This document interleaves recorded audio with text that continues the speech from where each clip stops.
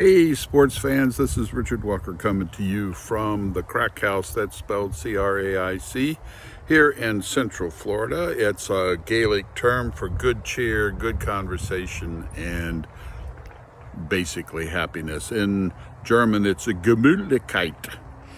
Anyway, today I'm 75, and as you can see, the skies are partly cloudy but blue, and uh, I'm out watering the roses. So uh, I'm having fun. I'm upright above the grass and feeling good.